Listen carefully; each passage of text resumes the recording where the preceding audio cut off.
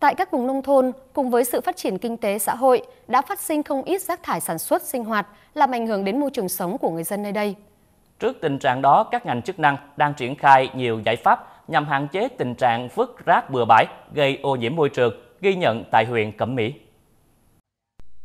Là huyện miền núi, dân cư lại thưa thớt, nên rác sau khi sinh hoạt xong bà con chủ yếu đốt hay dứt vào các lô cao su, giường rẫy, ảnh hưởng rất lớn đến môi trường sống.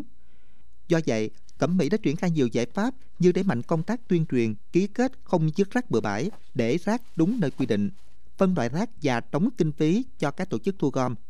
Đối với các hộ dân sống ở vùng sâu, vùng xa, các tuyến đường chính sẽ hướng dẫn người dân tự xử lý rác thải tại hộ gia đình. Mình ờ, đem đốt hoặc ờ, đem đi ra lô rồi đó. Từ ngày có xe đến giờ thì mấy chú này ngày nào cũng ờ, cách ngày đi gom rác một lần thì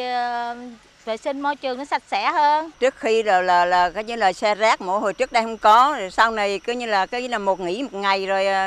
uh, gom rác một ngày là thấy cũng sạch sẽ môi trường. Để đảm bảo việc thu gom rác kịp thời, quyền Cẩm Mỹ đã ký kết đấu thầu với 5 đơn vị thu gom tại 13 xã trên địa bàn. Các đơn vị đăng ký thu gom sẽ phối hợp với các xã điều chỉnh giờ thu gom rác hợp lý, rút ngắn thời gian trung chuyển, tránh ảnh hưởng đến đời sống của người dân. Trung bình lượng rác thải sinh hoạt mỗi ngày của địa phương trên 30 tấn. Sau khi thu gom được chở đến công ty trách nhiệm hữu hạn bột thành viên Thiên Phước, xã Xuân Mỹ để xử lý.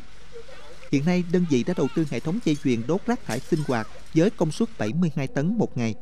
Rác thải sau khi đốt sẽ có lượng tro, xỉ than dưới 10% và được tận thu để làm nguyên liệu sản xuất gạch không nung.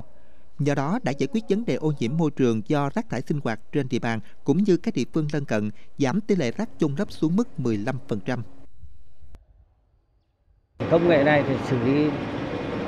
khoảng dưới 10%, dưới 10%, chứ không là 30% nữa. Tại vì ờ, quá trình mình được ờ, phân loại, ừ, tận thu, tận dụng, tái chế là phần còn lại không có giá trị thương mại mình đưa đi đốt thì nó giảm thiểu đến dưới 10%. Cái tình hình ờ, thu gom rác sinh hoạt ở trên địa bàn huyện Cẩm Mỹ thì chúng tôi tin tưởng rằng là cái rác sinh hoạt sẽ được xử lý là triệt để là đảm bảo là dưới 15% dưới 15% hoặc là cao hơn nữa à, nó sẽ giải quyết được cái ờ, cái vấn đề ờ, mà chôn lấp và gây ô nhiễm môi trường à, à, có thể gây ô nhiễm môi trường mà trước đây. Để việc xử lý rác thải nhanh thuận lợi, ngoài trách nhiệm của các ngành chức năng cần nâng cao ý thức của người dân trong việc hạn chế sử dụng túi ni lông, dùng sản phẩm thân thiện với môi trường và thực hiện tốt việc phân loại rác thải ngay tại các hộ gia đình, bỏ rác đúng nơi quy định.